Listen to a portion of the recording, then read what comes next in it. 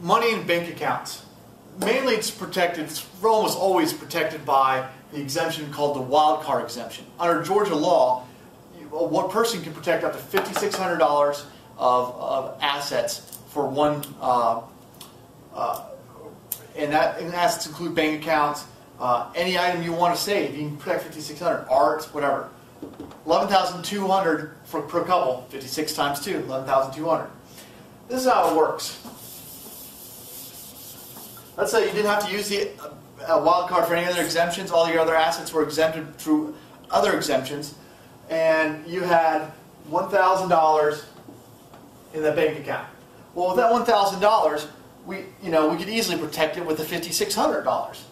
Um, we, we have a whole another forty six hundred dollars of uh, stuff to use for other items. But let's say it's ten thousand dollars you have in your bank account at the time of your filing.